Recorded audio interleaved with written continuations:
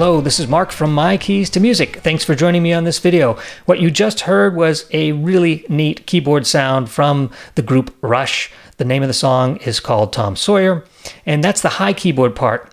Now, this is part two of a two part series. Part one features the first note of Tom Sawyer.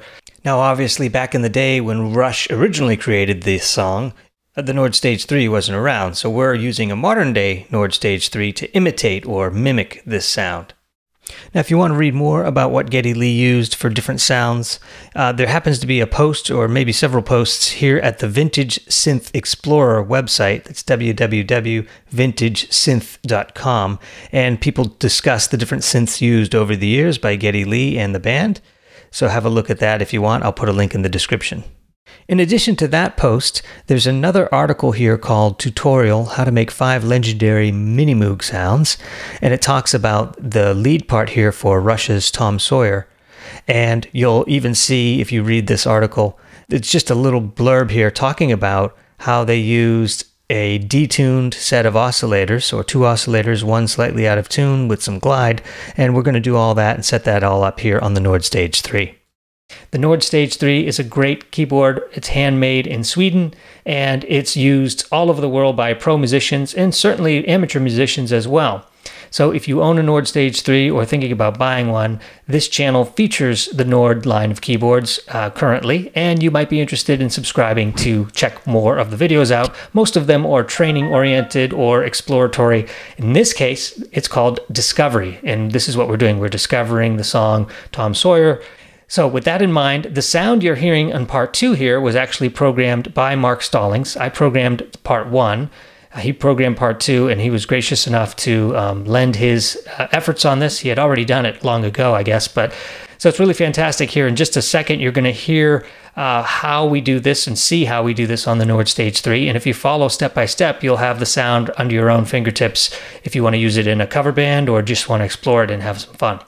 With that in mind, if you're brand new to the Nord Stage 3 and you want to learn more about synthesis, feel free to stop by at www.mykeystomusic.com and you'll find both some free courses and some paid courses there uh, featuring the Nord Stage 3. So if you're brand new to the Nord Stage 3, or even if you're uh, not so brand new but want to learn more and want to learn everything from A to Z, I have training courses there for you to look at and consider. Thank you for that. So let's begin the lesson. So the lesson for part two is quite interesting. We have a sound that I thought would be fairly easy to imitate because, hey, it's just a lead part. Sounds like a saw wave to me. I mean, it doesn't have that major modulation happening like we had in part one. So I figured, oh, this, this is going to be pretty easy. Turns out I was having a hard time imitating this sound. And I came really close on my own, and I was going to, I was just about ready to record the video. And uh, Mark and I started talking, Mark Stallings, and we basically said, hey, I, Mark said, I already have this sound if you want it. I said, Yeah, I'd love to have it and I'll feature it. Sure enough, um, Mark's sound was better than my own, and I was a little bit disappointed in myself, but by the same token, I was also proud that I came very close to what he had.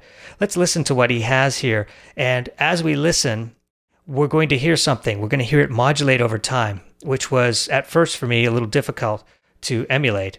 So let's listen to that now.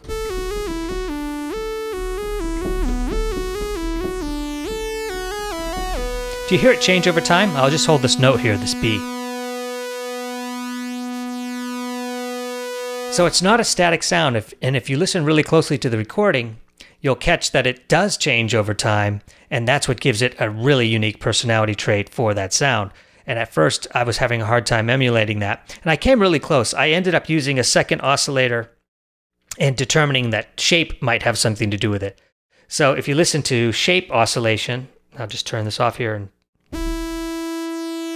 you can hear that sort of gives it the effect. But I think that uh, Mark was correct to use a different oscillator setup. So here's Mark's sound on M24. I've duplicated that, put it on M25, and called it Tom Sawyer New. So this will be our playground. Let me just zero this out so that we can prove here that we're starting from scratch. Okay, so I've cleared that out. And what we have here is just a regular saw wave. So let's introduce that second oscillator, but introduce the detune saw wave oscillator.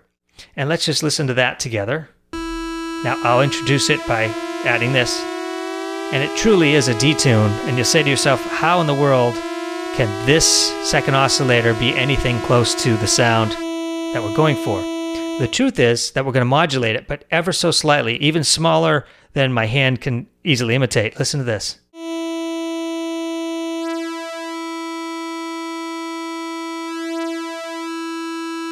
And that's even too abrupt. So we'll keep this oscillator control on zero. We'll introduce a tiny bit of LFO and we'll make sure that the LFO rate is all the way down and we'll make sure that we're using the triangle type waveform uh, style for the LFO. And when I do that combination, this just LFO mount at 2.0, this oscillator control all the way to zero, and zero, even though it's zero, it means we want it to end up at zero, but this oscillator control is going to move it from zero just slightly higher back and forth. Listen to it now. There we go. Got really great modulation.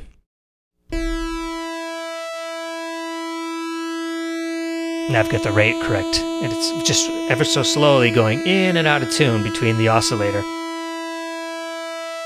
Or I should say in and out of tune when the detune oscillator kicks in. And that's how, that's really the exciting part of this effect. All right, now what's next? Let's save that first, Tom Sawyer New, and then let's go back to the original one. And uh, you might have heard this.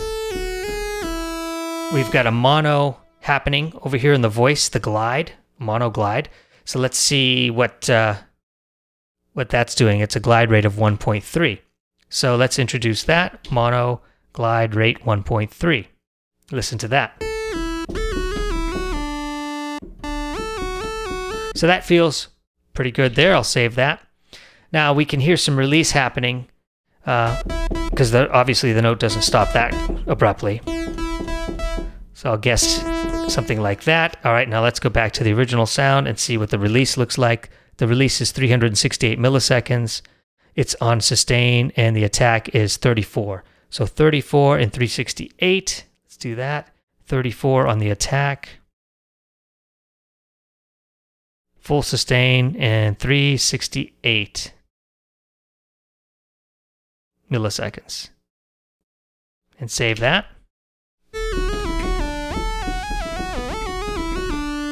Okay, that sounds good. Let's see what other effects are happening here. Uh, we've got the LP12 filter, fine. And we have drive of 2, fine. And no keyboard tracking. And we do have that vibrato. We'll talk about that here in a second. And we'll do the effects first. So let's go back here. So we've got the drive on a 2, the LP12 filter, fine. Okay, that's good. And let's see, do we have any frequency cutoff? Let's see, right here we're at 21, so that's all the way. LFO mount, we have zero on the LFO mount. This I assume is zero and resonance is zero. All right, so let's go put all these. Resonance at zero, frequency all the way up, LFO all the way down, and this right in the center. Okay, save that. Okay, so do we have any modulation envelope happening on the original Tom Sawyer sound? Let's take a look. This probably won't matter because we're not using the modulation envelope for either of these, so it really doesn't matter what these are set to at this point. All right, save that. Uh, let's go look at what effects we have running here. So, for the original sound, we have a digital delay happening. So let's set that, find out what those are. The wet dry setting is a 1.5. The feedback is a 0. It's an analog mode in ping pong and the rate is a 341. So 341, 0, 1.5. So I'll set mine to that. 341, 0, and a 1.5. Make sure it's on analog mode and ping pong. Okay, that's the delay settings. Let's see what the EQ looks like. Okay, we don't have any drive because I don't see the light on. Let's take a look at the treble. Okay, the treble is 2.2, the mid is 2.0, and the bass is 5.8. Save that. Let's go look at the mid frequency, 5.6. All right, let's take a look at the reverb. Bright, all one, amount 2.9. Save.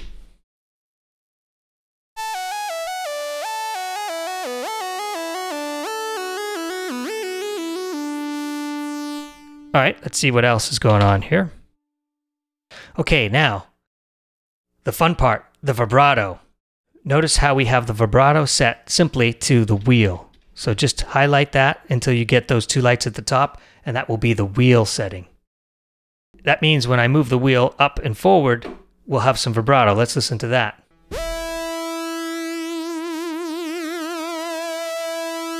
Now, there's one other thing that you need to know about the vibrato is that the settings for the vibrato are under the sound menu. So let's go into the sound menu and you'll see on page three, if you go one, two, three, you'll see that there's a rate and I've set mine to 5.7 and I've set the amount to 38 cent.